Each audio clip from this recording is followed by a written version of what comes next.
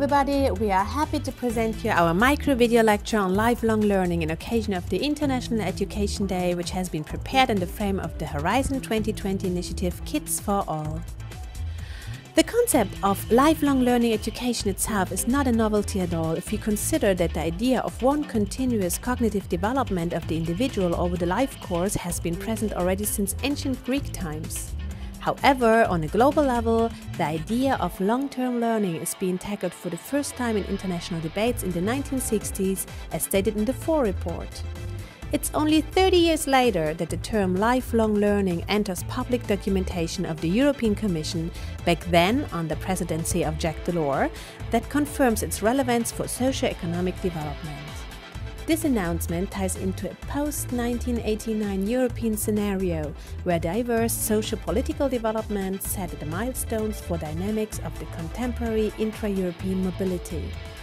Along with the people traveled their values, their traditions, their cultural dispositions, and thus the total of their knowledge, experiences, and competences in the newly created European space.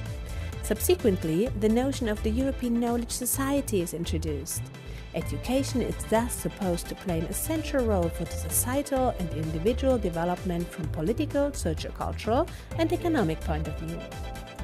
In 1996, the European Year of Lifelong Learning formally inserts the new educational paradigm into the European agenda and sets the groundstone for the strategy formulated by the Lisbon European Council in 2000 that aims to make the Union within 10 years the most competitive and dynamic knowledge-based economy of the world, able to achieve sustainable economic growth with more and better places of work and greater social cohesion.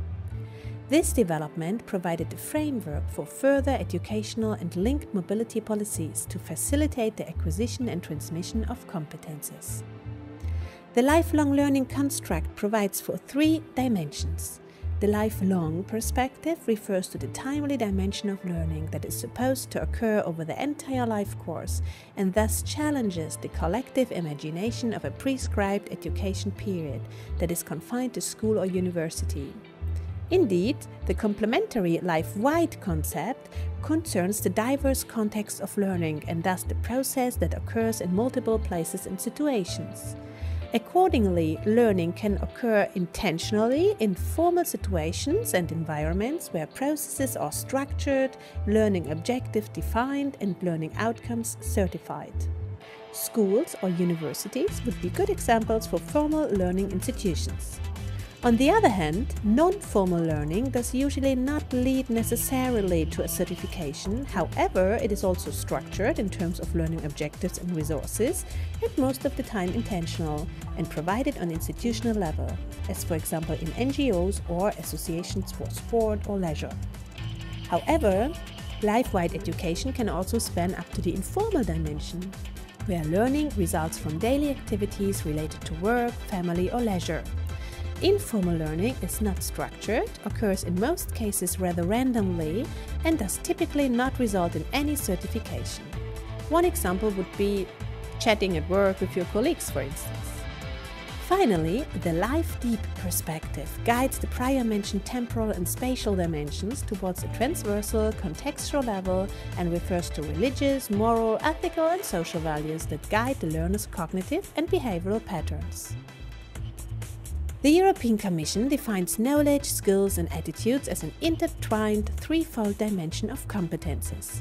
This competence set allocates three different processes of competence generation to three distinctive qualities of the individual, changing its initial role from learner to trainee to become then ambassador and thus transmitter of the acquired competences whereas knowledge refers to facts, figures, concepts, ideas, and theories which are already established and support the understanding of a certain area or subject. Skills, on the other hand, are defined as the ability and capacity to carry out processes and to use the existing knowledge to achieve the results. Further, attitudes describe the disposition and mindsets to act or react to ideas, persons, or situations. The recommendation for key competences for lifelong learning was firstly adopted by the European Parliament and the Council in 2006 and newly proposed in a revised edition in 2018. The recommendation aims to improve the development of key competences throughout life and to promote measures needed to achieve this objective. It thus encourages member states to make provisions for changing labor markets and active citizenship in more diverse, mobile, digital, and global societies. Key competences have become a feature of education policy in European member states at different times and with different emphasis since the adoption the of the first reference framework in 2006. The variety of approaches taken in the different member states reflects the history of those countries, the prevalent education philosophy, and the educational structures that are already established. As a result, there is no uniform model followed for integrating the key competences into national curricula. Competencies were complementary. Literacy and numerical skills are presumed preparatory competences for multilingualism, which in turn facilitates cultural awareness and active citizenship, and may at a later stage lead to potential entrepreneur skills. On the other hand, interpersonal skills and also digital competences are conditioning and driving the entire learning and integrational process and are thus both transversal for the acquisition, cultivation, and transmission of all competences on the one hand, and skill sets on their own on the other hand. So, this was the theory, but how could effective competence formation and transmission in these key areas be brought into action? For example, through peer learning that emphasizes additionally the significance of soft skills. This is the central point of the Kids for All project, which proposes a five phase learning method for students in lower and upper secondary school age that envisages firstly a coupling of students to become learning bodies, secondly, a theoretical knowledge acquisition through traditional learning methods, followed by thirdly, a skills training on how to transmit the learn to other learners in practical tutorials, and last but by far not least, a co creational phase in which participants of the pilot project produce own learning contents to consolidate their knowledge and to transfer competences to their peers. The pedagogic concept of learning and applying the learned for its consolidation is not new.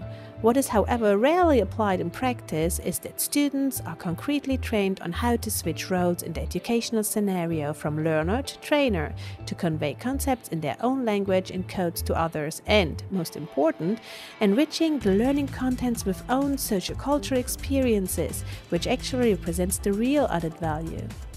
Questioning the traditional role patterns of student and teacher stands thus in the center of this project that points to the full potential of the contemporary, highly diversified learning community. So who's on board for this adventure?